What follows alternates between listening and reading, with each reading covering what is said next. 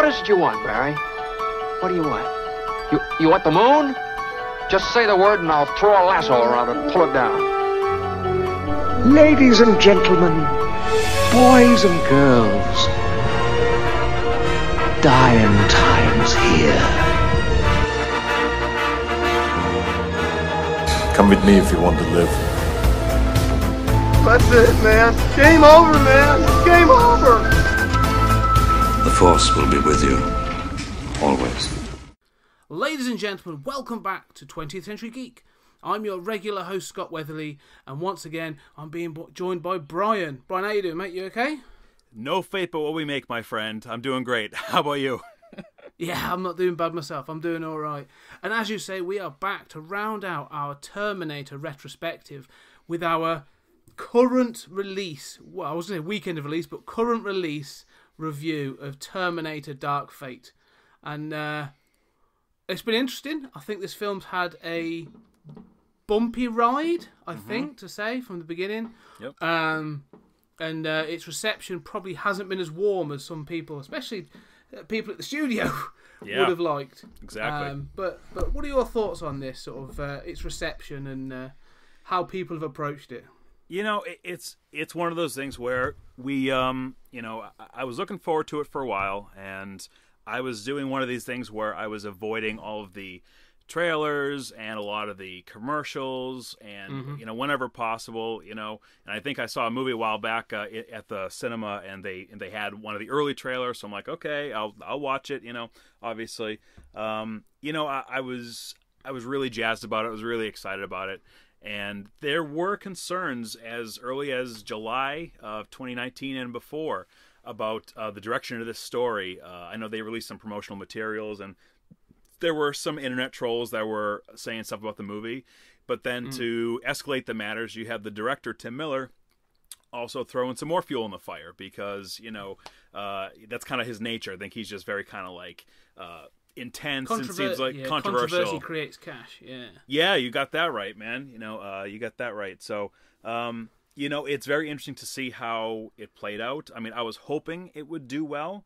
Uh, we're not even talking about the story itself, but I mean, a- as a story, we want to see it kind of come back to its its full potential. This is the third time they've tried to uh, relaunch a trilogy with the with the series. You know, starting basically with Terminator Salvation, uh, continuing with, with Genisys, and with this one as well. And perhaps that's where they're having kind of an issue because maybe instead of having a self-contained story, they're more looking towards a long-term storytelling. And I just don't think fans are going along for the ride. What do you think? No, I think you're right, and I think there was. You say I remember the. I remember that first trailer dropping, and when I saw it, I was like, okay, there's bits of this that look really cool. There's bits I think look quite good. I'm excited for this, but there were hints in there of, I don't know what I would call almost like compromise. Mm-hmm. Um, and so I was a bit like, okay, I'm not going to get too excited. You know, I've got sort of like I'm going to dampen my expectations. Um, and then, as you say, sort of like you know, Tim Miller came out, and then you sort of you have. Um, James Cameron coming out saying, "Oh, this is the true successor," and I'm thinking, I've heard that before. Yep. means nothing. You know, not going to be sort of like jumping up for that one. Um, but then I did, like I say, he started throwing out bits and pieces, and there was sort of news about sort of Edward Furlong had been seen on set, and then this Yeah. had happened, and then, um, you know, there was these other bits and pieces coming out, and uh, it, it, I, I I couldn't get a beat on what the film was going to be. Um, so I, I struggled to get excited for it just because, like, you know, I mean, even going in, as I walked into the cinema to see it, I was very much like, I'm either going to really enjoy this or it's going to f- like land flat. Yep. And that, that, that was sort of like how I felt. It was either going to be one thing or the other. Um, so yeah, it, it was an odd one. I, you know, we'll get into it when we get into the story, but it's, it's there's, there hasn't been that many films where I've been this sort of confused going in. Like you know what I mean? Like usually you get sort of a bit of a bit of the marketing, you get a tone, Yeah. you get a feel for it, and you're like, okay, I'm going to enjoy this or I'm going to hate it and I'll miss it. This I just couldn't. I couldn't get a read on it at all. I, I mean, it's almost like Scott that this movie had three screenwriters and seven story developers. You know, mm, yeah, yeah. which which is basically what it was. I'm probably off with the numbers, but if you look at the opening credits, uh, uh, Goyer's in there, Cameron's involved somehow. There's a there's a lot of people with their fingers in the pot, adding something, taking stuff away, and I imagine not having kind of a clear vision, more like the first couple, it was pretty much Jim Cameron and, and William Wisher. You know what I mean? Mm. And and it was really kind of like a very tight, simple story, kind of a self-contained. And now, I mean, it's the IP is so big, been around for so long. You got everybody and their brother wants a piece of this. You know? Yeah, and that was the thing again. Like, see, even before it came out, there was the announcement again of like, "Oh, we see this as the beginning of a new trilogy." And it, again, straight away, I'm just like, my shoulders slump at that. It's like, oh all right." Yep. So there's going to be, you know, um, there's going to be story threads that they intend to pick up in later films. There's going to be this. There's going to be that. So that and that was what I was sort of worried about. If they'd have just said, "Oh no, this is just a kick-ass film," you know, it'll it'll have a nice, satisfying ending that we could continue if we wanted, all that kind of stuff. Like, Yep. fine. Um, and yeah, so I don't know, but I think I think we'll get into it. Let, let's let's get into it then, shall we? So, you know, this is this is Terminator: Dark Fate came out this year, 2019.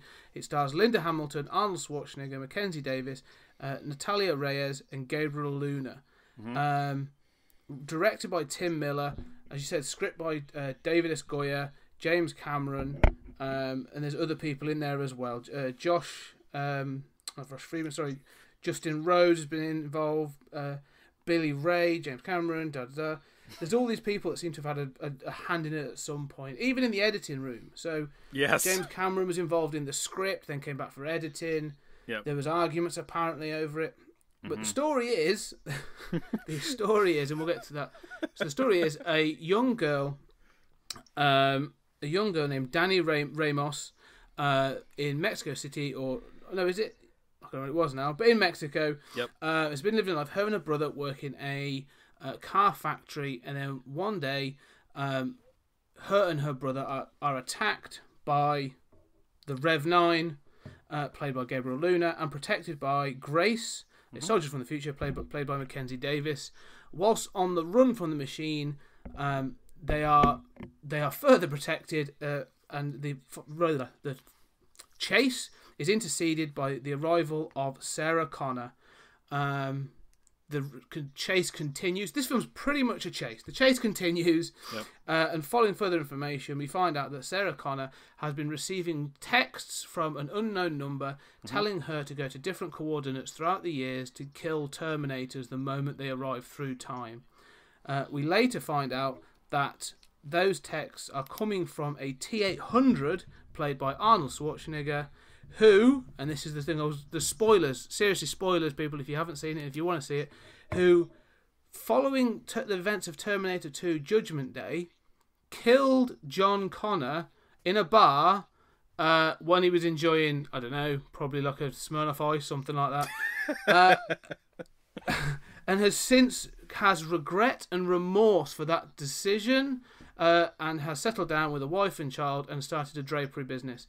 Um, that he leaves all that behind to con- continue the pursuit and they eventually they go on a plane. There's a plane chase. They then up in end up in a dam uh, where the fight continues, and he sacrifices himself to kill the Rev Nine, uh, as does Grace.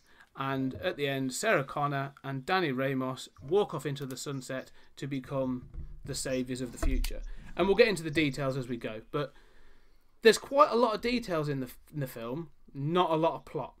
Yes. yes. Yes. Good point.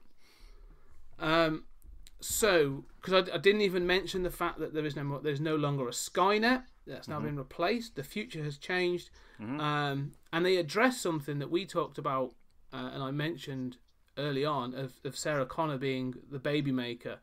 Uh, like they address address it directly, so that was interesting. So I saw your reaction then when I mentioned the first the opening scene of this film like Yep. you know you get you actually get some video footage from t2 you get that psychiatric f- footage Yep. and then it jumps to sarah connor in a bar oh, before we say anything about what actually happens i will say the youth uh euthanization the youthing the cgi of the young sarah connor and the young ed furlong uh, Yes. um uh, what's it kind of It is awesome. Yep. So impressive. Um, less so the Arnie, but Mm-hmm. I think that's more because he's body double. But um, yeah, that opening scene. What are your thoughts? The and I'll address the CGI, the special effects part of that scene first. That almost makes the uh, the actions of that sequence harder to swallow for myself and maybe other fans as well. It felt so close to how they looked back then uh, that what transpired was was really uh, a gut punch. Uh, it was really tough to watch um, for me, and, and and so so we are going spoilerific, right? We're we're going Oh, we're, full we're on, it, full right? on spoilers. Warning you now, we are getting in. Full right. on spoilers. All right. So it so in this sequence, John gets killed by a T eight hundred, and Mm-hmm. it's uh at least in, in my theater, you kind of heard like a, a noticeable gasp amongst Mm. the the moviegoers.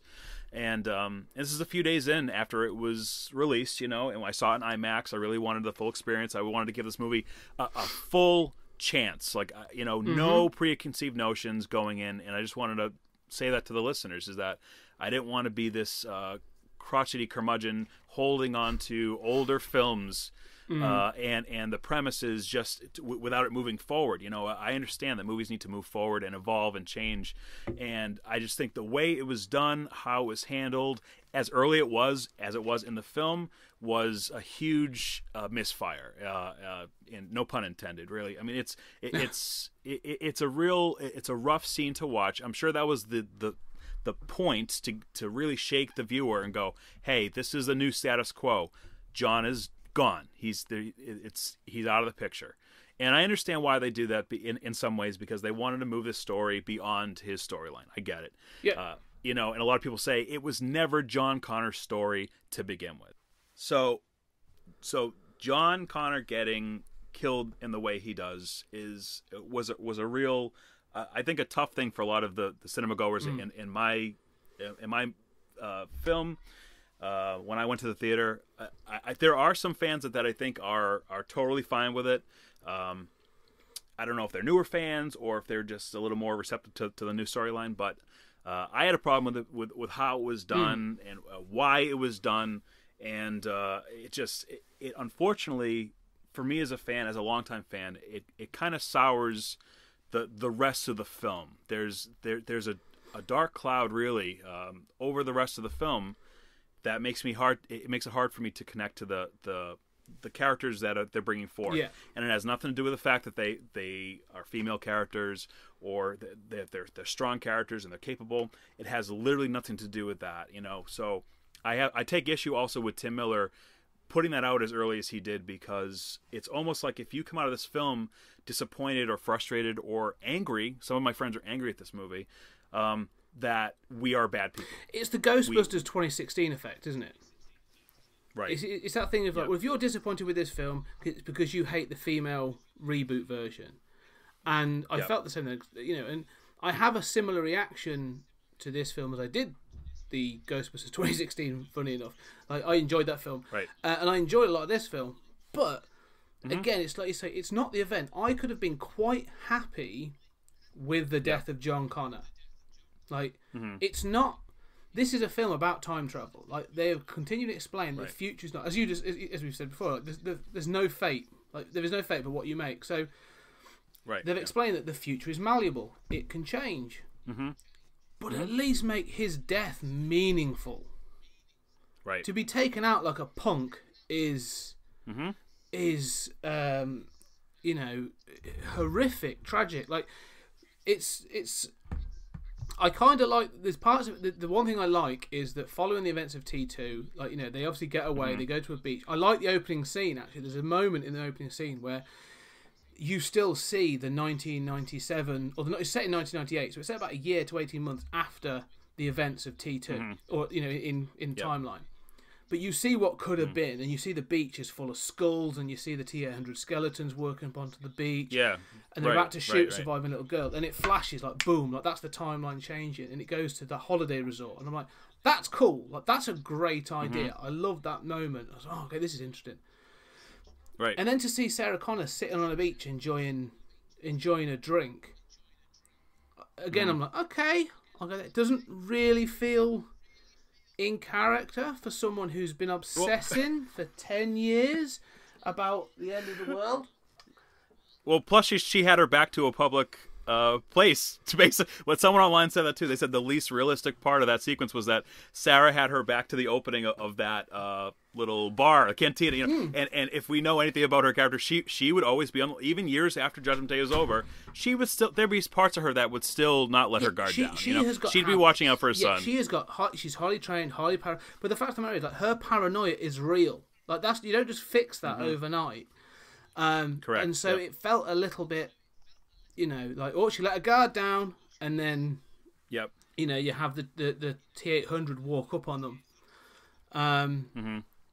and yeah, it, it just, I don't know. It just felt to be taken out like a punk is like at this scene. Like literally, this T eight hundred walks up and shoots him and walks off. Right. You know, and she she attacks it, and it, you know it's quite cool. He grabs her by the hair and flips her over, and I, I quite like some of that. But Mm-hmm. yeah, it, it, there's there's just a, there's a lot for fans to be brought along for this ride. So, it, it's almost like, uh, in some ways, this movie is a little bit like Reese in the first movie, and the fans are kind of like Sarah in the first movie because the movie is taking taking us along for this ride, whether we want it or not. Because uh, I like I, I think some fans are really uh, are receptive to this new concept. I mean, when I say new, I mean John Connor has been killed in the timeline many times throughout the series, like kind of like in the alternate timelines, meaning the sequels. So I was doing a little thinking about it. So if you follow Terminator 3 Rise of the Machines, in the future, term, uh, 2032, I think the year is stated, John Connor is dead. Yeah. Uh, and, and Kate Brewster sends back the machine to protect them. Yes. So we do know that he dies in that timeline. Yeah, yeah. Okay. Let's go to the let's go to the next one. Terminator 4 Salva- Terminator Salvation. John Connor doesn't die, but he very nearly dies with a, a huge spike through his chest. Yeah. Uh, very nearly dies, but it's close. Terminator 5, they have him be a villain. He's a heel. Yeah. And he dies at the end uh, as a villain. Okay. And then I was recently watching the Sarah Connor Chronicles. I try to say that Mm. right. Uh, Sarah Connor Chronicles. Um, in the pilot episode of that TV program, it sets, place uh, takes place a few years after T two is over, and there's an opening dream sequence where John Connor gets murdered by a Terminator, and Sarah grabs him. She says, "Do it." She says, "There's nothing left to live for," kind of thing. And even that brief little scene of the pilot episode, I thought was better handled than this film yeah, uh, just the way it was done. And unfortunately, and I know we haven't even touched upon the main story yet of this film, but it's it, it's hurtful, I think, to some of the earlier movies, T one and T two especially, because you have it changes sort of the mission or it changes sort of the, the, the, the concept. And let, let me elaborate real quick. So John is killed at the start of this film. So because he dies, um, a, a- a new person takes over as like world leader against this new artificial intelligence, which is um, Dani, right? Uh, the the young girl Dani. Now, to me, and maybe you see this differently or the same way, but that shows to me that the mission to protect John Connor is pointless yeah, in T1 and T2. The only thing that mattered was the destruction of Cyberdyne systems. Mm-hmm. So why didn't I mean it, like if I'm going to really kind of geek out about it, kind of get into the nitty gritty, there's no reason for John to have been protected at all. No, because his murder meant nothing, and his and even Sarah Connor's survival meant nothing because as long as you had someone to go back and blow up Cyberdyne systems to stop Skynet from being developed, or maybe someone to just kill Miles Dyson, and that's it, yeah. then the series over. So it, it makes you it wonder why they didn't the do that. John Sarah equation In many ways. completely off the table, and, You know. and and for that I hate it. It- I hate it. yeah, it makes me wonder now why they sort of like you go back to um, some of those comics that have done similar things. But but Yes, but you're right. Like now you think back, if you were one of those resistance fighters, if you were John Connor actually in the future, Mm-hmm. and you know obviously you know predetermined whatever, but if you're John Connor in the future, why not? You know the events. Why not just send a band of resistance fighters back to kill uh, Miles Dyson? Like it opens up these questions. If that's all that matters, then I don't know. I mean, you get into the whole timey wimey, wibbly wobbly timey wimey thing, but Right, right. And, and, this is a series that has always had uh, plot holes and issues even from moment one because uh, you know and and as fans we've kind of just been like hey what they shrug our shoulders. We say hey it's it's Terminator. You know what I mean? It's it, there's some things we're gonna have to snigger about and kind of laugh and go ah it's okay you know? It is what it is. Doesn't make a ton of sense. You know yeah why you know why is there only one always sent back? Why did all, all these kind of things. Why is there you know how can the T1000 go back in time Be- because it, it has a liquid metal s- like, all these kind of goofy things that we kind of break down and we rationalize we're like wow you know we, but but it comes to a point where uh, this part of the story, and, and I heard that maybe even this, this was Jim Cameron's idea, perhaps. I don't know. I wasn't in the room, That- but unfortunately, it. it Yeah, it- go that's ahead. Yeah. what I've heard. I've heard the same thing, and but again, like it tells me that they came to this thing with with an intention of, like, say, shaking things up. And again, I respect that. I don't mind him Yeah. Mm-hmm. dying. That's not a problem. But Yeah. you could have done this so differently, of having like Mm-hmm. just avoid all that front bit, right?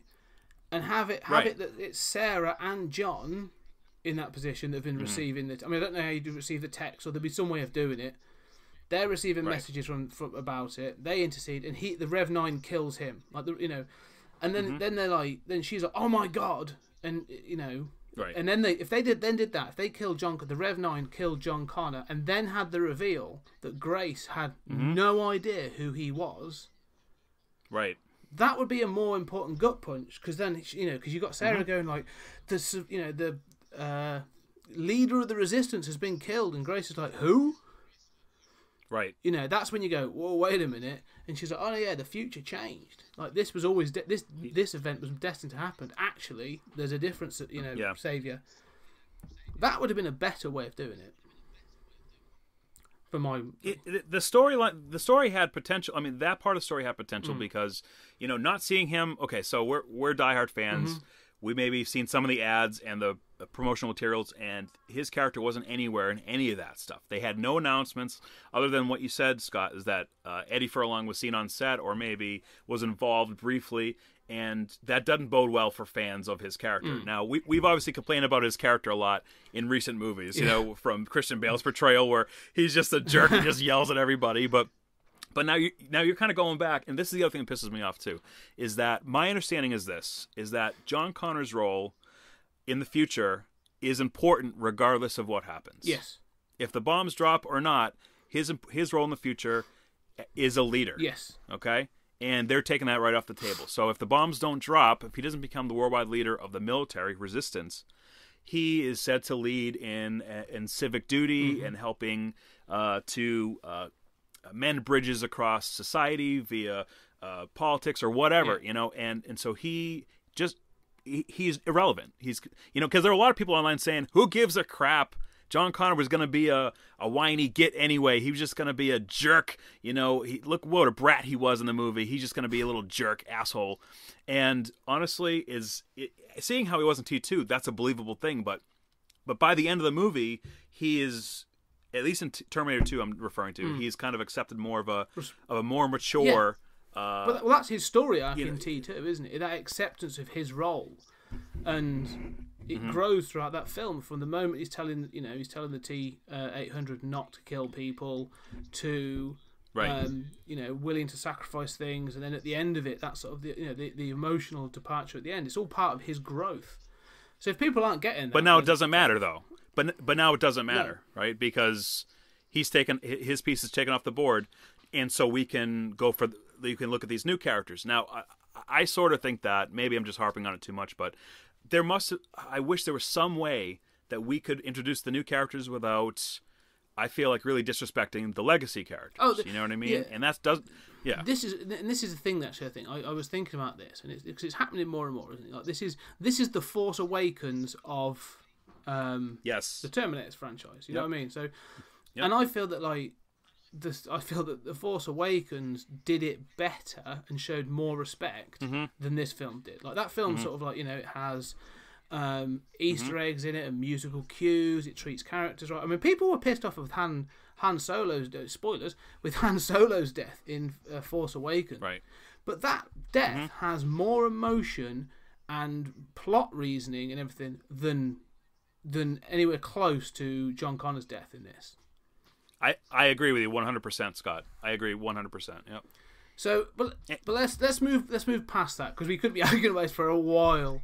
Um, but the I fact of the matter yeah. is, it, it that, that that happens, and then it jumps forward to present day. It jumps forward to, to 2019, and we get to Dani and her brother um, working in a a a car factory, uh, and then we also get the arrival of Grace and the Rev Nine. So this is where it sort of kicks off. This is where we jump into sort of like you know, oh, now the new. We've sort of like it's almost like you say we've cleaned the table. Now let's get to the new story. Um, Right. so what what are your thoughts on sort of like the new setup and the, the sort of the introduction of these characters? Well, it, you know, I myself, I was still numb from the events of the earlier part of the film, you know, and so, and I'm just kind of like, my mind's racing. Being a science fiction fan, I'm thinking, okay, is that did that really happen? Did they really do what they what I think they did? You know, because, and I'm also feeling the hurt as a longtime fan as well, and just thinking about all the films. But so I'm just like, okay, well, I guess I just have to think about what's the, what's going on in the present. Uh, a- and how it was going down was uh, was actually not too bad. This is where I kind of wish the movie sort of started. And if they were going to have John Connor get murdered as a 12 year old kid, um, I wish they kind of maybe they could have teased it, but they kind of I wish they kind of showed it later on when we were fully invested in the new characters. Um, because having him die so early really shakes the storyline too much for fans. I think you know. Do you know what? That's another good point. That would have been even better, wouldn't it? Like introduce Sarah on her own, so you're constantly asking like, "Where's John? Where's John?" And then sh then they're sort of like, "Who who are you? And why are you so bitter and angry?" And then sh- if she was to Mm-hmm. relay the events, then I think, yeah, that that actually would have been worked better, wouldn't it? To have it slotted in later in the film as a reveal. Well, that's what I was I was thinking. I mean, I'm not a screenwriter like like like uh, the 17 people who worked in this movie, but um, you know, it, and it's just and it's a very simple movie. It's a, it's a simple storyline. It's it kind of goes back to bare bones in in some ways, which is uh, it's a chase must protect the the new important person. That that that's it, you know. And in some ways, it exceeds it, excels in that. Is what I should say. You know that um, the it's it's almost like we know the premise. We know there's going to be two opposing figures meeting at this access point. This uh, you know this person who needs to be protected, and how's that going to play out? And Yeah. seeing um, Mackenzie Davis as Grace come in and uh, wail on the Rev Nine wa- was was actually a very a cool scene. You know, we we see her doing all sorts of uh, acrobatic moves and fighting him, and it makes me wonder why you know it took so darn long to, to get kind of an, an enhanced human to take on these machines. You know what I mean? Yeah. So Well, it's a good idea. It, it is, but here's the here's one of the things you say about being a simple film, and it is a simple plot because it is. It's a chase film, and there's some parts of in and there's something in that that's very satisfying because the action in this Mm-hmm. film is very competent and in very many cases like very satisfying. Mm-hmm. However, some of the story or some of the character arcs are, are less so. Some of them are very good. Right. Like I actually really like Dani's story arc. I think her stepping Yep. up, you know, and, and realization is actually quite cool. Um, Hmm? but the thing with Grace is, like, you know, or it's not explored, is there's clearly a step in in the future where the way Hmm. to defeat these robots, you know, these androids, or you know, the the T eight or the Rev nines, whatever they are, Legion is the new AI, is to enhance the human body. So she keeps saying like, "Oh no, I'm human, but I have cybernetic mm. enhancements." And so there's this sort of like it's never really addressed, and maybe it would have been done in a future sequel. That's clearly never going to happen. But, but this notion of like, well, what? How do you? How do you have to reconcile the fact that you have robotics and a power source? We'll get to mm. that in your own body in order to defeat what you're getting Yeah. a step closer towards. Like you're having to rely on the robotic technology that clearly you're fighting against. There's none of that. It's just sort of accepted that she's enhanced human. I think that's sort of an over. I think that's a a fallout of superhero films. Yeah. Um, but really, that should be if if this was just a James Cameron film, I feel that would be a Mm-hmm. story point. Her having to explain and and come to terms with the Yeah. idea of, or someone would say it like, "Well, you're no better than a machine." yeah. Right. Um, I don't know. It just it just felt like a missing link or a missing piece in this puzzle at times. I was like, "Oh, you you just seem to accept this and you're just carrying on." And the fact that you need medication because your body Mm-hmm. is clearly rejecting these things, like no one's going Right. to talk about that. That's not going to be a theme. Like, And that's frustrating too as a viewer because I think some of the juicier parts of the story for some of the fans is that it was glossed over for parts that some parts just didn't work. You know what I mean? So that that that's frustrating that there were there are things in here that are interesting. So I'm, I'm I'm not hating on it completely. You know that there are things that are fascinating. Um, you know what, what does that do to some like like a Sarah Connor's kind of psyche? What does it do to somebody to to live with the knowledge of the future and now losing her son? So there are things that are glossed over completely in favor of thing other things that might not work as well, just for more action sequences, and and that and that's a shame. Um, I, I I didn't have as much of a problem with Grace is because she showed her vulnerability pretty quick. Is that she she showed that she's not 100% perfect at all times. Is that she needed to recover, and I think that was that's an important thing for a character moment because in a lot of these movies. Uh, nowadays it's like you have these characters that are perfect that are they have no problem learning the skills that that legacy characters took m- entire franchise Yeah. developing and they're perfect from minute one. I, I like grace that is badass and she's throwing all the rebars at the rev 9 and all that kind of stuff like that. That stuff was great. That opening sequence was i've heard someone online say that chase with the on the freeway Mm. was like a third act, a third act chase in the first act of the movie Yeah, I, I know, agree. which is- I agree with that. Like, which is adrenaline awesome and also weird Yeah. right.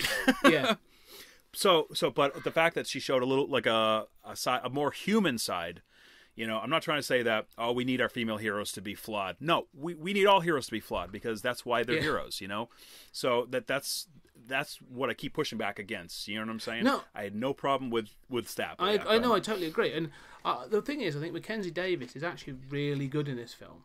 Like, I Yeah, think she I she does carry like a real emotion to this film, and there's so much more that sort of like as you learn about clearly her relationship to that older Dani um, during the Mm-hmm. war years. Like, it's never explicit. Nothing is explicitly said, but there's clearly a connection there. Mm-hmm. And when you get the sort of like the flashback of uh, the flash forward, I suppose, of um, the future and the young Grace being saved by an old, a slightly older Dani. Like you get Right. it, you go, "Oh, okay, that's fine. But there's clearly like years after that that there's there's a relationship Yeah. and there's a you know there's a respect and an admiration. So I understand why she's come back. Like this isn't like this isn't Kyle coming back because he loves Sarah. This is this Mm-hmm. is a soldier coming back to protect her best, uh, her close friend and mentor.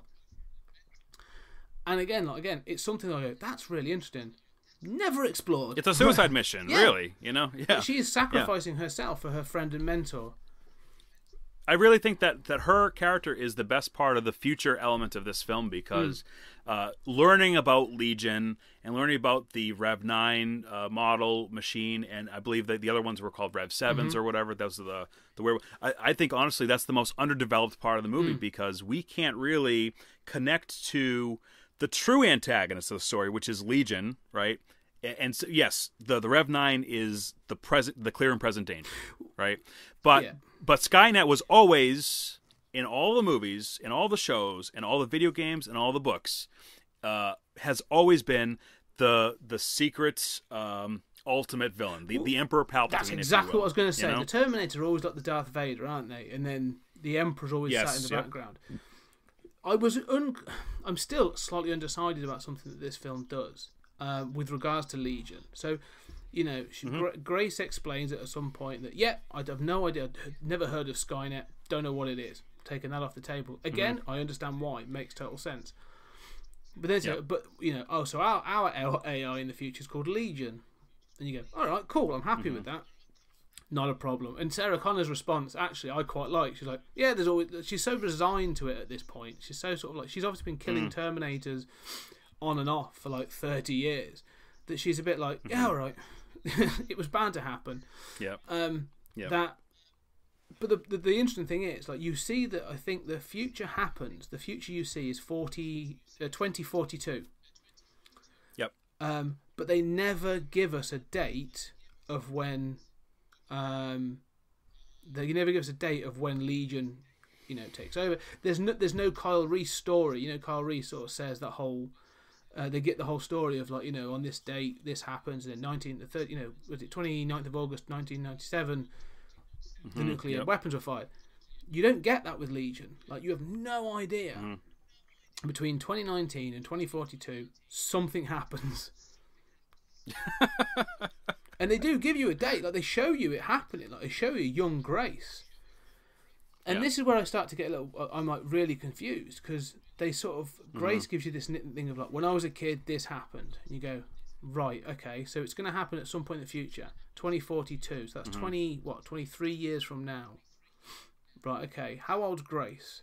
But then at the end of the film, they see a girl that is credited in the in the credits as 10 year old mm-hmm. Grace. Mhm.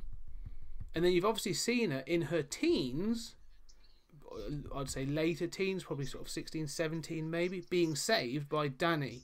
Mm-hmm. Yep. So, what, we're how many years away from Legion? Like, it's never stated, but it, it, it feels like an, in, Mm-hmm. an imminent threat, but without ever, ever being mm-hmm. explained. Right, and, and there's a lot that's not explained because I I was doing a little research about this, and the so uh, the movie had come out, and Tim Miller sat down with a news site or whatever, and they asked him all these nagging questions uh, that the diehard fans are like. What about this? What about that? You know, and some of some of it is pretty picky, right? Let's let's face it. You know, fans can like ourselves can be pretty picky, right?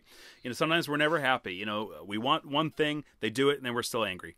Um, but they the one thing that I got from this article was that he kept on saying, "Well, you know, we we we were going to address it, but we're thinking of addressing it in a future film." And all these moments that could really have enriched the story, despite some of the um, disrespect that they did to some of the characters early on, we could have really invested in this story. And that if they just add a little bit of meat to the to the bone, learn about Legion, learn about why mm-hmm. they made the same exact damn mistakes as Skynet, you know, why they call their machines Terminators as well, all this kind of, you know, stuff like that. We can really kind of grab onto it, but there's all these questions they kept asking him, and he's like, well, yeah, oh well. And that's show that's just a big misstep whether it's editorial writing directing whatever there's something that went wrong that all these fans are going well what about this well well well how was arnie getting the coordinates oh, like all these questions like well we'll address it some other time Well, and they won't they won't No, I mean, no, they'll know? never get the opportunity to. And this is the thing. Like I say, I, I, I'm in two minds about it because I love the fact that when you when you get the date um, of Judgment Day, you know, when Mm-hmm. you're watching this for, film in sort of um, you know 1984, and you get 1997 as your Judgment Day, Right. you're like, oh my god, that's you know 12, th- 13 years away from now. That's crazy. Like, Right. you know that that's an imminent time clock. That's a that's a ticking clock. I mean, granted, it's, it's over a decade away, but for, from Sarah Connor's point of view, as she's driving off into the Mm-hmm. sunset of Terminator at the end of Terminator, it's a ticking clock. Like you know, the storm that is Mm-hmm. coming, both metaphorically and obviously physically, like it's as you said, Skynet. It's this it's this imminent threat. So you've got that. It's an it's an it's an evident imminent threat. This film sort of flips it by not giving them anything. So when when at the end of the film, Sarah and Dani sort of ride off into the sunset, they have no knowledge. And to me, I was like, that's actually slightly scarier. All you know mm-hmm. is something is coming. Like this legion is going to be created. Now you've got to do your own detective work to try and stop Yep. it and prepare for it. And that felt a little bit more. That felt more of a threat. Like that felt more suspenseful, but also less mm-hmm. satisfying. Yeah. And, allegedly, they're they're if if they were to make more movies, that there there was just a, a humongous amount of other Terminators out there just waiting in the wings, waiting to to defeat. Um, you know uh, Sarah and, and Dani and, and now at least as of right now they have no um, superhuman esque protector to help them. They're just they're just two human beings, and one of them being uh, an older lady, uh, battle hardened, no doubt. But so it's like it, it kind of changes the whole dynamic a bit. You know what I mean? And you remember how how we joked about how Genisys ended in the last one? It was like they were all live, they were all together, they were driving off, and they were gonna like go party and go to the theme park. They were just it's just like you, you know this is one of those things where it's just like there's there's so many unanswered questions. I think it's it's it's tough for the viewers to in, invest in it. But there are some fans who really really like this one. But so I mean maybe I'm just missing something. Well, no? I'll, I'll be honest with you. So if you, if when I when I watch this, so you talk about that opening, uh, the car chase, and Mm-hmm. it goes it goes on and it ends with sort of Sarah Connor's introduction, and then it goes on, and it just you know then they go off, and, and then there's another bit, and it just keeps going. Like this, Yeah. the, the, the pace of this film is is non-stop. Like it stops Right. for little breaths, like exposition, and off we go, and that's it. Like you know, and there's little moments like that that are fine. Um, but I really enjoyed the pace of this film. Like, I enjoyed the fact that it's non-stop. Um, and it's sort of like that opening chase. It grabbed me. Like the moment the sort of the Rev Nine appears in. In fact, I'll tell you. Let's talk about let's talk about Gabriel Luna as the Rev Nine. Yes. Yep. I really liked him. I felt, and uh, you made this good, but I actually liked him. I felt like he was a step up from a T one thousand um, in character. So the moment he answers the door and he's, he's like, "I'm at, I'm af- I'm looking for Danielle Ramos," and she's like, "You know, who are you? I'm one of his, one of her friends." And it's like, "Oh, her friends call her Dani." He's like, "Right," and you just think, "Oh, you, you're, you're fucked. You is done for." yeah. Yeah. He has he has a sort of a personality because he said it's weird, but like I'm like I'm not going to associate him with the T1000 or the T800. This is a different future. Um, so Yeah. even later on when he sort of um, he goes to the uh, border patrol thing, and uh, the guy says to him about oh he says oh you know um, he hands over his weapon and stuff, and he, he makes a joke. He says whole body's a weapon. And you're just thinking. Wow, these things crack a joke now. Like they're they're sort of like just for their own amusement. This is weird and creepy. Um, Yeah. I don't know. I just found him really entertaining. Like I quite enjoyed him as the as the Rev Nine. Terrible name, Yeah, but good, same here. good- yeah, Yeah, yeah, I remember you said that last episode too. You're like Rev Nine's the the Rev Nine's the worst name in, in history. You know, it sounds like a, co- a cosmetic product or something. You know, so, um, you know, it, it's it, and you know, it's funny you said that because a lot of people haven't discussed Gabriel Luna's performance in this movie, even though he, along with the rest of the cast, put in a lot of hours at the gym, a lot of probably training with like mime coaches, most likely, and just really getting into that mindset of being able to split his uh, being into uh, an endoskeleton, uh, which I thought was a very cool looking endoskeleton. And uh, and this uh, this liquid metal uh, person, you know what I mean? That could, that's but together they're stronger. I kind of like that idea. They they are a stronger unit. That's why they keep on coming back together. But they're equally as deadly separate. You know. And of, of course, if this movie series were to continue, I'm trying to scratch my head at what kind of more advanced machines they could keep sending back. Uh, how much sillier it's going to get. You know what I mean? So, um, but I thought he did a great job, and overall, he was a pretty intimidating character. You talked about the action. He he it was nonstop. You know, he was always a threat. He was always chasing them down, always using the modern technology to uh, find ways to them, which was uh, an interesting way of showing how a movie like Terminator One would have played in today's audience. You know what they would have done. You know. Uh, and that's terrifying. The fact that he can just hack into any network and just go, okay, yep, okay, because there's cameras everywhere, you know. So th- I thought he did a great job. yeah. Yep. I really enjoyed him in this, and, I th- and again, I thought I liked the Terminator design. Um, there's a few people that, like say, really nitpicky. They're like, "Well, how does it work?" and do this. And I'm like, "How does the first one work? It's nonsense. Just don't worry about that." Like, um, Right. It's it, I like it. I like the fact that there's parts of the skeleton that clearly are storage Mm-hmm. for the rest of the the liquids. The the s the, the chest cavity and the head cavity look hollow because that's where the liquid metal sits. Yeah. like, that's like a really cool design. So I really like all that. I thought he was Mm-hmm. amazing. yeah, Um, yeah, so yeah, he feels like a threat. Like he feels like in this, it, it, it feels closer to the T one thousand sort of stalking them in in T two. Um, Mm-hmm. What I would say is though about this whole film, and there's this, we've talked about the car chase, is yeah, is this thing of escalation. And when they say that, those people have said that's the third act chase in the first act, it's amazing and it really is cool. But then you do go, what are they going to do next? yeah. and it all goes a little bit fast and furious towards the end. um, if if Yep. you know what I mean. Yeah, um, so it's true. yeah, it's it, it it's fine. It's good. It's, it goes on. I find the cast are all pretty good. It's it's when, but what are your th- so you know the film sort of splits into two for my thinking Yep, because Yep.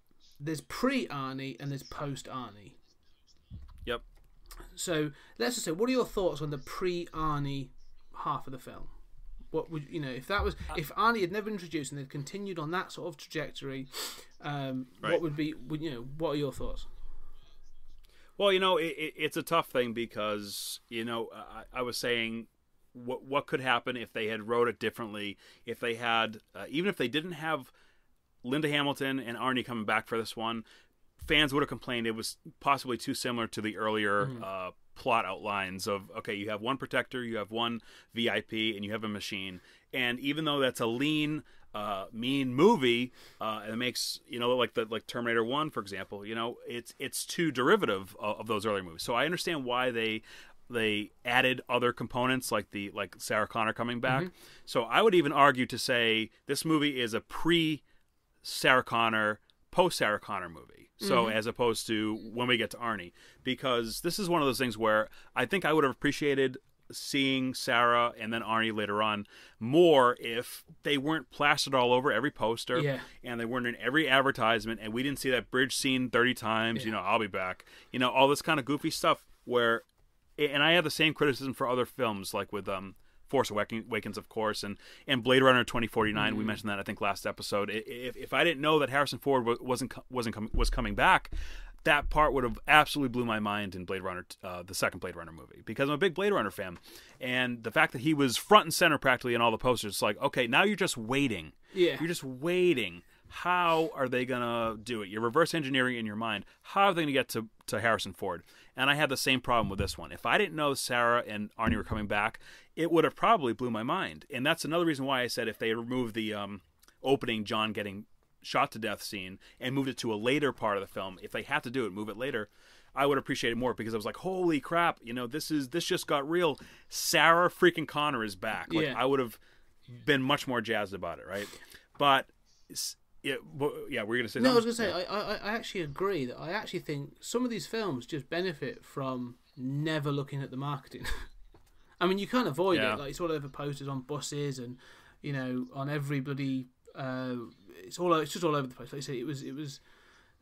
You couldn't avoid it. Um, but yeah, Yeah, you're right. Like yep, it would have been a, a real fist pumping. I mean, it's designed to be a fist pumping moment. Like her stepping up, she gets the hero shot. Like you know, she steps out the car and it pans up her, and she's like, you're like, oh my god, like Sarah Connor's back. Like that's amazing. right.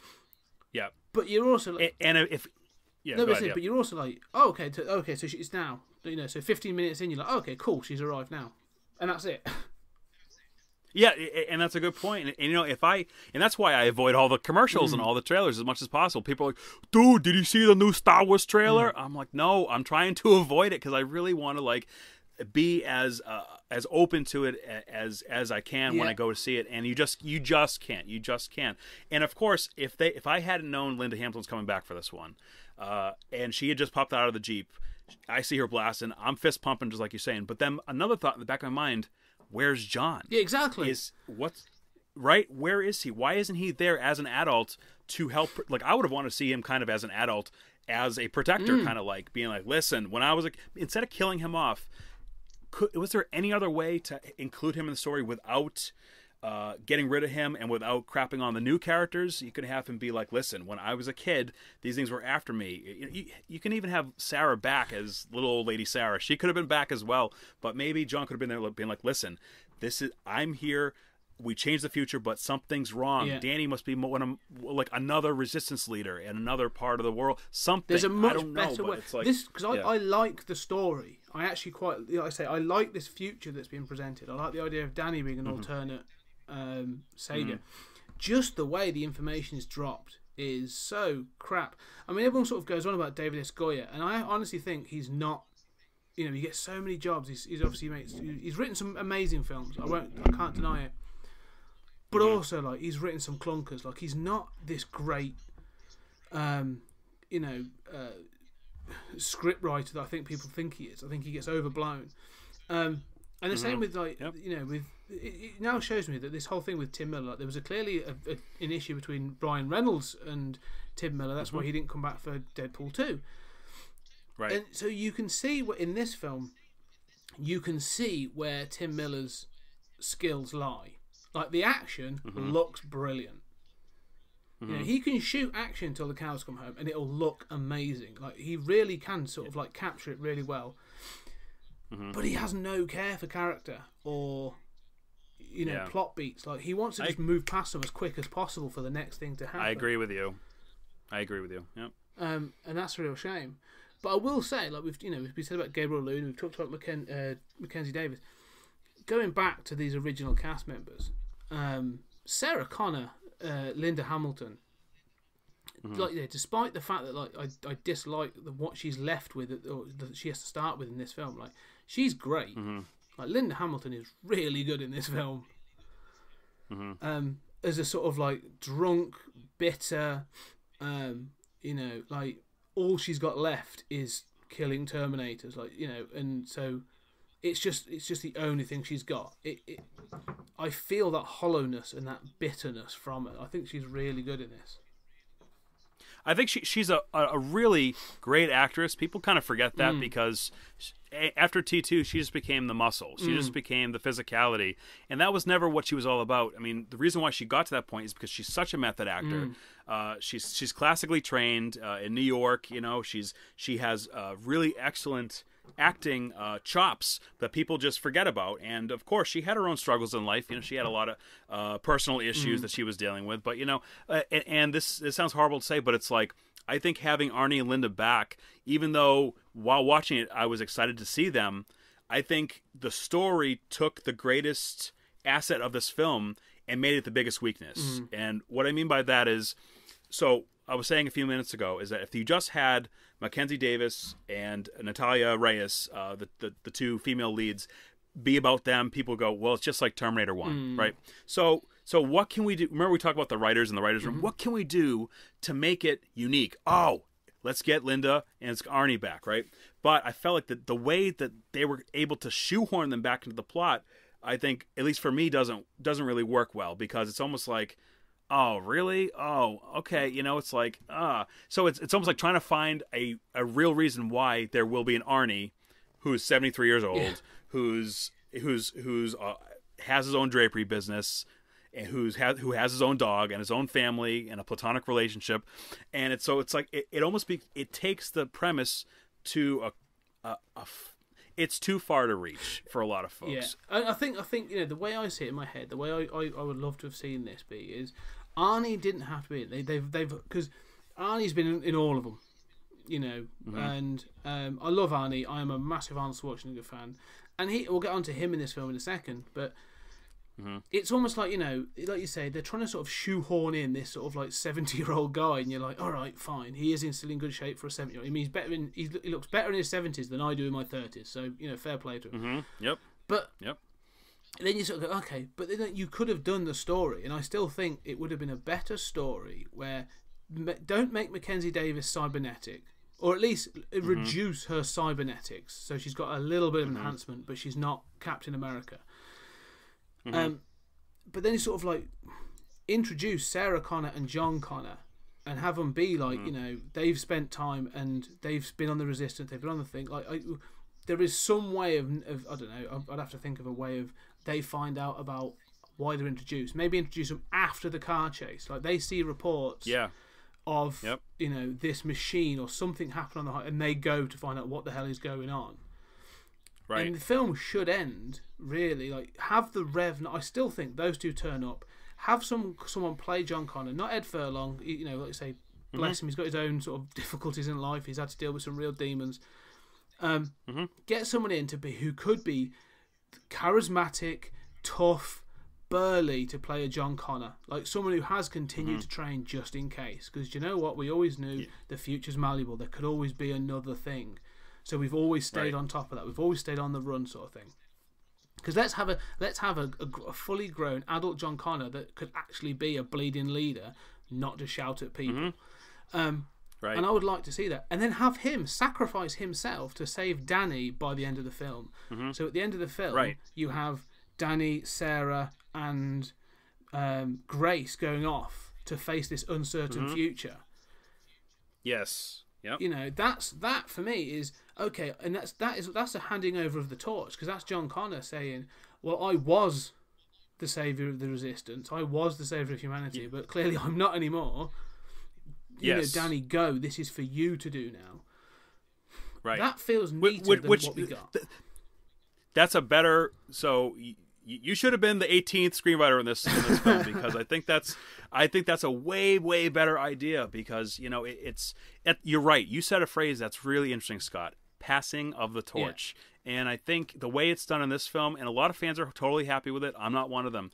Yeah, the, the torch wasn't passed; it was stolen. It was taken from a legacy character who we've we've known to kind of like follow and root for and uh, is very iconic. You know, people are always wanting to learn more about John Connor. And yes, in the last couple movies, there's been a lot of misfires. There's been a lot of missteps with the character.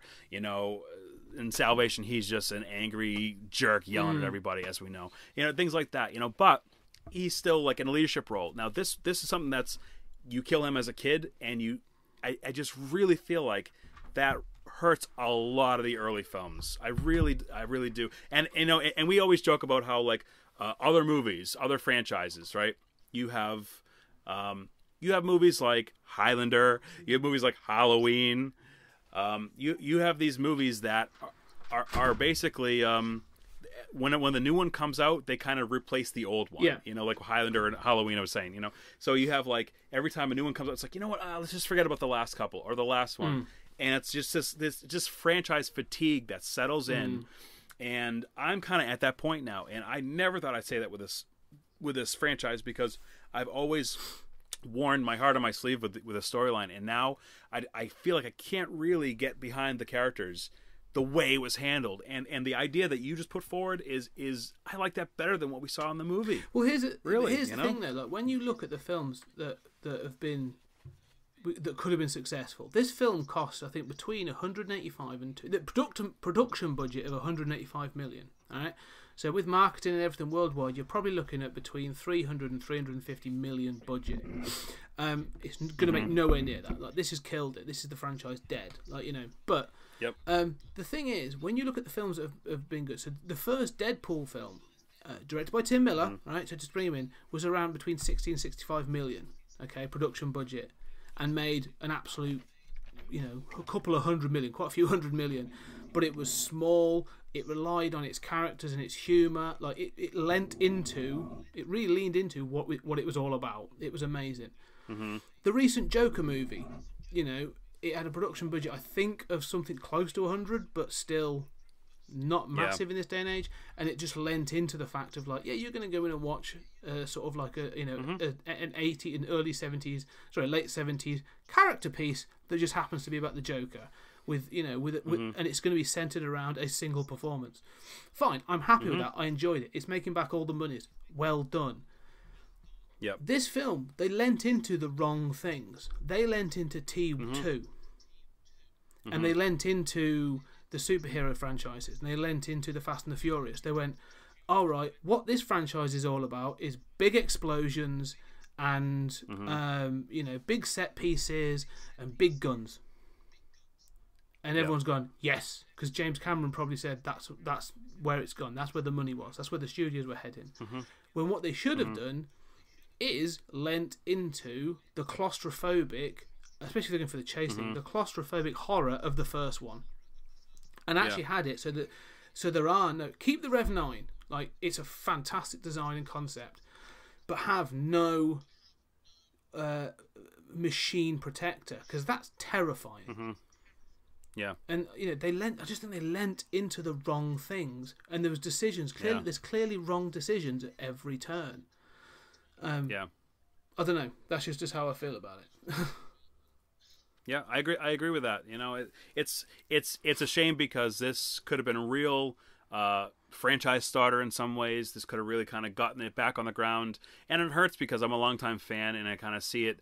Uh, basically going the way of well you know what the next step is going to be it's going to have to be a hard reboot basically you know not just a soft one not just a restart or a requel or whatever they're going to call it they're going to i feel like really the next step they really can't go any further with this story they, they're going to have to redo everything from scratch Yeah, yeah, and yeah. and i don't I, I don't even know if i want to see that you know It, it won't. It probably won't come for 15 years. This is the last you will see of the Terminator on screen for uh, I think at least 15 years. Um, Mm-hmm. But the thing is, again, like I say, they could have. When, when you look at what happens in this film, and let's talk about Arnie being in the film as well, because sort of post Arnie coming in, entering the film, like it it steps up a notch, Mm-hmm. doesn't it? Like that's the when you get the bigger set pieces. and that's where the money's gone. Like you know, there's a, like you say, there's an aeroplane chase. Um, there's all the stuff at the dam. There's a a, a, a Humvee that sort of parachutes down from a, a, a jet. Like all that feels so unnecessary. Yeah, it's ridiculous. Yep. Um, but I enjoy Arnie in this film. Mm-hmm. What are your thoughts about Arnie as the T eight hundred in this film? I, I'm a I'm a big Arnie fan, uh, at, least with growing up, Mm. um, and I was of course looking forward to seeing him appear in this movie as, back as the T eight hundred. Um, but something to think about is that this is the same character that killed John at the start of the movie, right? And, and I'm sure that could be argued for the what we call the T850 from Rise of the Machines, the third Terminator film, because that machine also was the one to assassinate John. Uh, in a different context, but it's the same kind of thing. And I wasn't nearly as bothered with it, with, with that aspect because going back to T3, as much as it, hate it gets by fans, uh, I'm not one of them. Is that by the end, you realize that John has a mission to, to fulfill, and he's not alone. Kate is at his side, and she is often his superior in some ways. Especially after he dies, she takes over the leadership. So it's not like some some male chauvinistic uh, fantasy or whatever, but it's uh, it's one of those things where you have John now has the knowledge that in 30 years' time he's going to die. He needs to die for him and his wife to be protected. And I think that's a great hook. And it just has to be like he he knows the date and time that he's going to get murdered.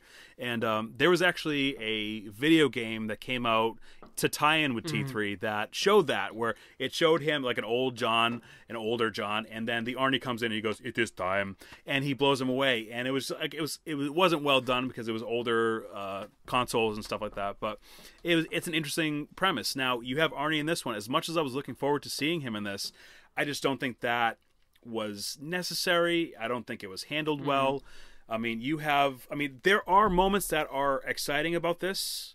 You know, like we have uh, the Terminator saying, "Well, you know, it's kind of like you know." Feeling no love should be a benefit, and it's not. Like certain moments, they're like, okay, that's kind of interesting, but you go back to how they're supposed to be. They're not supposed to be remorseful. There's no pity. There's all these things that we learn about the machines that, you know, now that his mission is over, he starts a family. And it's like the more I think about that concept, it, it the more it, gets under my Yeah, skin. th- th- you know? this is the thing I had with this with the introduction. Again, like I enjoy Arnie in the film. I think you know they lean into the jokes. The thing about T three we said about before, like they lean into some of the jokes, and some of the jokes are fine. Like there's funny, like to find out he, Mm-hmm. he runs a drapery company, and then there's some of the you know the things around that. Fine. Like when when Sarah actually shoots him, he's like, "No, I've got to explain this to Helen, whatever her name is." Um, right. but the, there's this thing about what a Terminator is. So he has to go in and blend in. That's the idea. And but it's a learning computer. Like the idea is it's a learning computer. But the thing is, hmm. like the first one, that one that was sent back in T two had been reprogrammed by the Resistance to protect John. So it's it it, Right. it was learning to feel emotions for or feel something for John because that helped mm-hmm. its mission. That's Yeah. the point. That was the point of it. Like it had a mission. That was the, what it was doing. So the excuse they give this one is, well, once he killed John, he didn't have a mission anymore. So he went and did all these things to blend in, and you're still thinking, like, I'm still thinking, It- you, you're still a little public. Like, surely finding a cabin somewhere in the woods because you don't need to really eat, you don't need to sleep. So having a cabin, there are better ways of like, running, a, opening a business. That's weird. As a Terminator, do you know what I mean? It's sort of like I. it, it, it's played It for is. laughs. It, it's meant to be a, a because he he doesn't open a gun range. He opens a uh, drapery a business. drapery business, and he and he waxes philosophical about the types of drapes in a room. So I mean, it's played for laughs. And, and honestly, there are times where the Terminator is used as a punching ba- as, as a Yes. punchline. In the last couple movies he's putting on the stupid glasses instead. He says talk to the hand. It's it's used for now there there's a proper way to do it where the humor comes at the Terminator's expense but it's not done it, it, it how this does it. Like this kind of like to me it kind of like un, undoes the fierceness of the character you know because he's he's got a family life and and someone online some wise guy online was like I now want to see a whole TV series with having Arnie and the family and him trying to find increasingly, uh, you know, more advanced reasons why he can't be intimate that night. Oh, yeah, and there's a- more more confusing Yeah, there's a things. there's a sit, where he goes to yeah, PT. There's a sitcom here where you know it, it, it's a, it's a sitcom where, like you say, sort of, like, "Honey, I'm home," and like you know, ex- Yeah, he goes to P- he goes to PTA meetings, he goes to parent teacher meetings, and he's just like trying to blend in with that. It's just like, oh my god, jokes where They're- yeah, he they're- joins so, I the mean, bowling it- team and smashes all the pins, and you know, like it's just yeah, it's it's uh, it's funny, it's fun. I think I honestly, I honestly, honestly think the biggest issue is they sort of they don't know what to do with Arnie because Yes, yep. you know he's older and they don't feel that he can be a legit threat. Like there are bits in this film, right? He is. There are moments when he looks great. Like there are bits when he's doing stuff that he he looks great. Fine, I'm happy. When he's Yeah. like fighting the Rev mm-hmm. Nine and doing stuff like. And some of the concepts about like when he has like the flesh ripped off his ha- his arm and stuff later in the, in this in some of the mm-hmm. fights looks great, and you start to re- he starts to reveal Right. the Terminator. But this whole thing of him sort of uh, obsessing over not having an objective, and so he reached out to Sarah to give her one too, is utter bullshit. Yeah. Because it's like, no, no, no, no, no. You, it, even like in Skynet, if you know, because he was obviously sent back by Skynet. Skynet is, is a is a is a hugely capable thinking computer. This is a massively advanced, you know, AI system. And you're telling me it didn't give its secondary objectives? Right. It's rubbish. It would go, oh, I've killed John. What have I got to do now? Oh, Kate Brewster. Da da da da da da da da. All go into hiding. Right. That's it. Because his flesh becomes a little bit um, irrelevant at this point.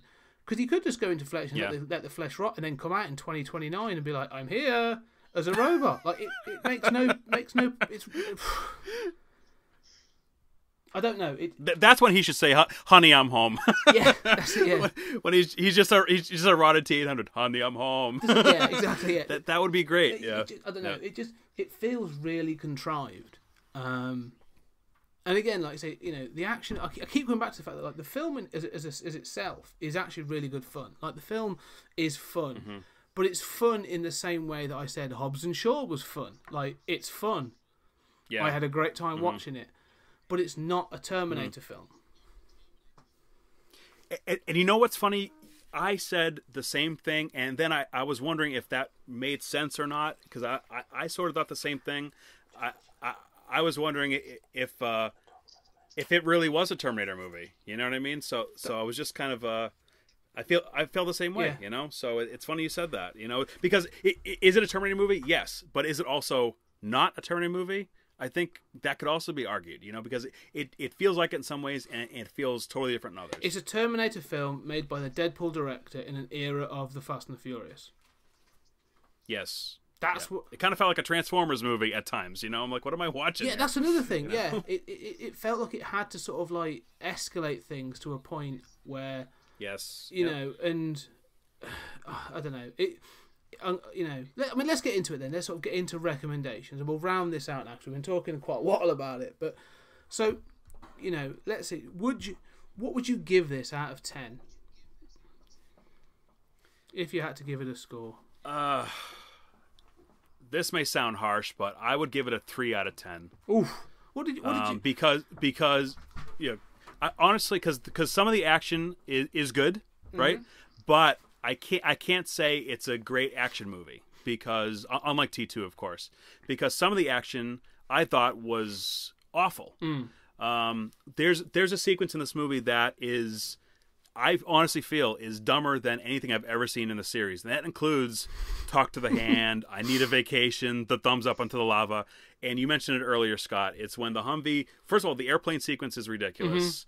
Uh, and then the Humvee, sequ- the hum- Humvee sequence underwater, where it's like, it's almost like driving kind of underwater and it's getting attacked. Like, I, I'm laughing out loud in the theater at a film that's not a comedy and a franchise that I've been attached to since I was a kid. Yeah.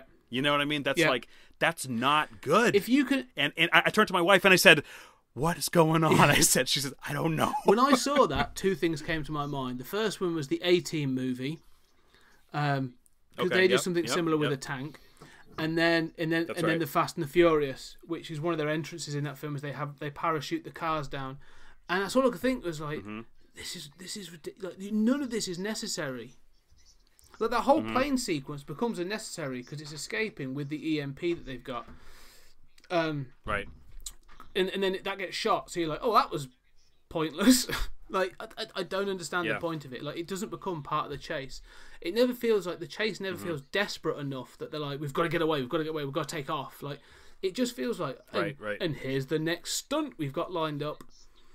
Um, Exactly. That's a, that's a great point. the other thing is, you know, the guy who gives them the EMP, ra- Yeah. random mil- uh, military person who somehow knows Sarah Yep. Connor. Why isn't he Miles Dyson's son?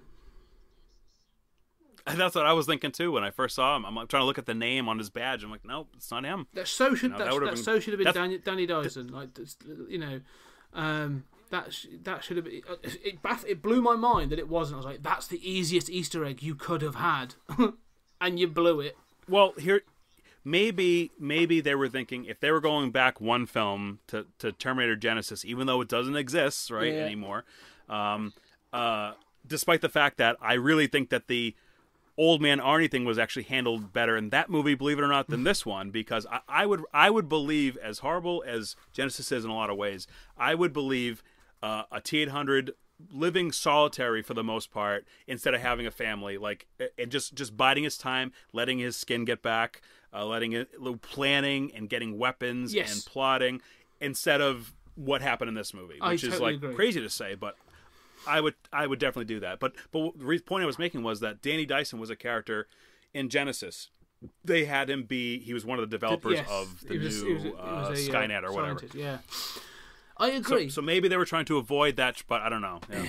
that yeah, it just feels like they had ambitions to do more films, but they should have done a self-contained film, and they should have escalated. Like this should have been a small, self-contained film that could have escalated up to something with the with the sequels. Like mm-hmm. establish your base first and then build up, but blew it.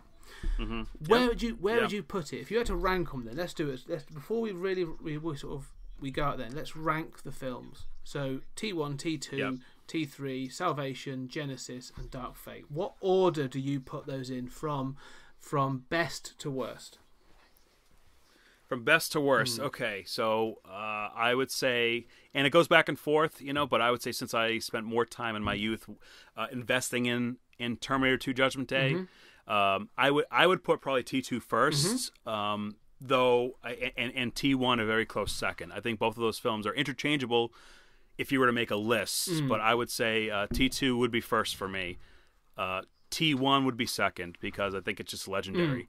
And um, and fans may disagree, but I, I would say T three would round out that list as the third one. Um, a lot of people say, well, it doesn't exist anymore, and it's worthless and it's ridiculous. And one thing that I found pretty interesting in the last week, uh, reading articles about this f- film, is people in the message boards and comments are saying, Terminator Three, I, I you know, they're saying uh, T three, I forgive you. You know what I mean? That they're kind of going back and saying that they that they kind of were too harsh on it back in the day. Yeah. And even though it's nowhere near as great as the first couple, you could watch one, two, and three as a self-contained story. And by the end of T three, he's now accepted the leadership role. He has uh, uh, his his wife by his side, and they're facing the future. They know what's going to happen, and you could literally shut off the series and be done with Yeah. it because in, thi- in in this day and age, unfortunately, Scott, is that fans the more they make the movies, uh, fans even though they want more movies, a lot of the newer sequels don't live up to the originals or sometimes ruin the originals. Yes. So fans nowadays have to choose in their minds when the series ended, uh, when the series died. So it's like, okay, there's 12 Halloween movies. I only watched the first six, or what? You know what I mean? So it's like we, we, it's you have to like in this day and age. You either live, you know, die a hero, or live long enough to see yourself become the villain. You know what I mean, so to speak and it, it's one of those things where, and I think the series has gotten to that point where it is now done. I- that. I- I'd um, so one, two, yeah. So the first three, I would keep in, in the top three there. Um, I would say hmm, this is a tough one, Scott. So f- for I, I would put next. Uh, oh my goodness, I, I can't believe I'm saying this. I would put Terminator Genisys as the fourth best Terminator movie that in my book. And the reason why I'm saying that is because it's it's a dumb movie that kind of knows it's a dumb movie. Yeah. And I, I know that sounds ridiculous, and I know it's that movie is like the most hated of all time or whatever. but um, T T four I think had great um, potential. It had some really awesome elements, but rewatching it recently kind of changed my mind on it where that I, I now have less affinity to it despite the fact that they did something different scott. They went to the future war and i gave them massive credit for that but the the execution was poor in my book and it was a huge missed opportunity. So uh, it sounds crazy to say but i'm, I'm putting Genisys just above t4 um, in that regard. And and fans may even be mad at me at this. I'm putting this new one probably as, as my least favorite unfortunately you know and that's not something i wanted to say going into this podcast. I really uh, i went in with an open mind. I was totally open to it. And when the film was over i turned to the missus and i said tell me your thoughts and don't let don't tell me what you think I want to hear because I just want to hear it from you as a fan have been almost as long as me my wife has been and she kind of told me the things that basically we've been talking about in this Yeah. episode you know she kind of felt the same way that things did that, you know John's death wasn't earned you know what I mean it really wasn't uh, it was there, but we it didn't earn that, uh, so that we can move the story forward with the new characters. So that's just my take on it. I mean, I, I'm really kind of frustrated with the direction right now, and and I'm sort of like uh, I'm the I'm the least of a fan that I've been in a long time, Wow. and that's and that's a shame, you know. Yeah. That's real. sh- Well, how about how about you, Scott? How, Uh, no, the- how about the- you? Enough about the, me. How the about you? The first two Yeah. are the same, like, exactly the same. Like T two is definitely the best film uh, in this, but it's very, very closely followed by T one. Like those two are so so good together. It's incredible, um, and like you say, they're interchangeable depending on my on my mood at times. Like sometimes I will think that one is better. Um, Sure. the drop off then is quite substantial, regardless of what comes next. Yes. Um, and the problem I have is is really that, uh, as you say, what rounds out the story better, um, Mm-hmm. and I find, I find for me, um, it is somewhere between T three and Dark Fate that comes in next. Um, and the reason I say that is I, I totally agree. Like we had our problems. Well, I had my problems when we talked about them with T three. I you know I find the TX Sure. to be a bit ridiculous. I think some of the story contrivances are daft. Um, however, it sort of redeems itself with the third act and the fact that it has the it has the cojones to actually go and destroy the world. Like fair play. Like it, it you know it pulls up with a, with a sort of quite stunning ending. Um, Dark Fate for me had some really good elements in it. Like I really enjoy Gabriel Luna. I really enjoy Sarah, uh, Linda Hamilton. Uh, I think Mackenzie Davis brings something different to this. Uh, you know, I think there are really good elements in this that that you know I would watch again. I, w- I would watch this again. So I'd probably uh, in the last couple of weeks I've probably sort of flipped and flopped on these. At this point, I would probably say to yourself T three, so I can have a complete trilogy, closely followed by Dark Fate. Then I would say it's Salvation. Uh, again, a bit of a drop. The potential's there. There's so much Sure. there that they could be doing, but when you watch it again, it's like, I. Yeah. It's one of those things when you watch it, but you know, it's easy to criticize from the outside, and, and you know that's sort of the point of the podcast. But it's there's so much potential there that they blow it again. And the, the my biggest problem, the more I think about it, my biggest problem is Christian Bale with that film. Like I don't buy him Yes. as John Connor in any way, shape, or form. Um, and then and then right at the bottom for me, um, because fuck Genisys. It is Terminator Genisys. Um, I really can't. I can't watch that film. I don't know why, but there's there's just something about the film that just irritates me. I think it's badly cast. I think um, I agree with your point about the fact that Arnie waiting and stockpiling weapons and machinery for, for you know however many years makes more sense. Like, that totally makes more sense. But the whole uh, reveal with John Connor and you know Daft um, Yeah.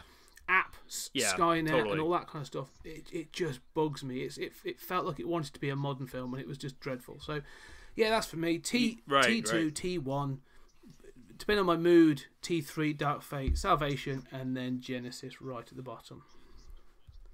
Well, and here's one last question for you: Do do you consider Terminator: Dark Fate the true third entry in the series? Like, like would you forsake any of the other crappy films that came before it and just say the trilogy is one, two, and Dark Fate, and that's the real direction of of the story. If I, What do you think?